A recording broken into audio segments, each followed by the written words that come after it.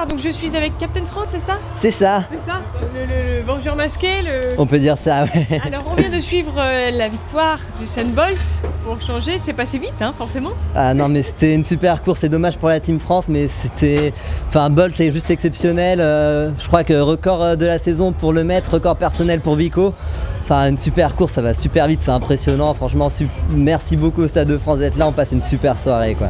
Bon, et donc, euh, alors beaucoup d'ambiance en plus. Dans le Mais beaucoup d'ambiance, mais le stade s'est réveillé, enfin ça dormait pas, mais l'ambiance qui monte d'un seul coup au moment où Bolt entre en piste, forcément, je suis là pour représenter la Team France, mais respect aux champions jamaïcains quand même. Merci à toi, merci. Merci.